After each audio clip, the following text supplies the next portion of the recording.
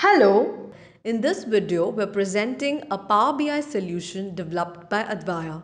The solution is a refined analysis of the distribution of restaurants across several US cities and measures KPIs like guest count, total sales, individual food unit sales, and comparisons at various times of the day. The landing page contains a set of navigation bookmarks and every page contains reset filters, next and previous buttons along with the page level filters. The sales and guest count analysis report shows total sales and guest counts for locations. A combination visualization shows the guest count and total sales across each hour of the day.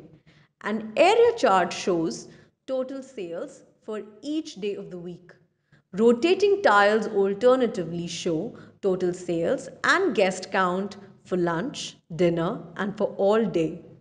The second tab shows top selling food items which can be filtered by using the slicer above the column chart and an average check column chart with toggle for lunch and dinner.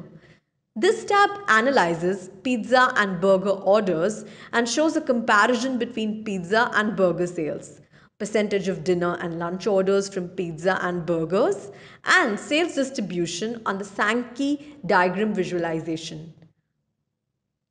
Feel free to reach out us at connect at the for any questions. Thank you for watching.